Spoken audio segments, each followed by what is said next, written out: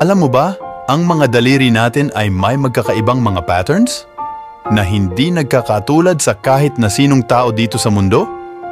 Ayon sa pag-aaral ni Francis Galton, no two fingerprints can be exactly the same out of one of 64 billion times.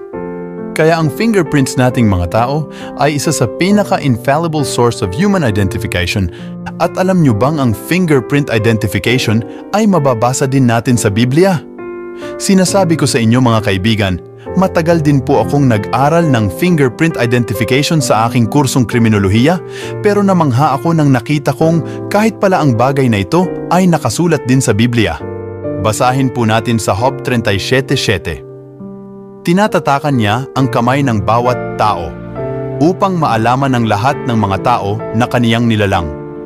Kung pag-iisipan lang natin mga kaibigan, ano pa ba ang mga tatak na makikita sa ating mga kamay? Ito ay walang iba kundi ang fingerprint. At kung papalalimin natin ito sa espiritual, ito ay tumutukoy sa mga mabubuting gawa na ayon sa kalooban ng Diyos sapagkat ang mga tatak na ito ay inilagay ng Diyos para maalaman ng lahat ng tao na tayo'y kaniyang nilalang. Amen. At siguro ay hanggang dito na lang muna mga kaibigan at maraming salamat po sa Diyos.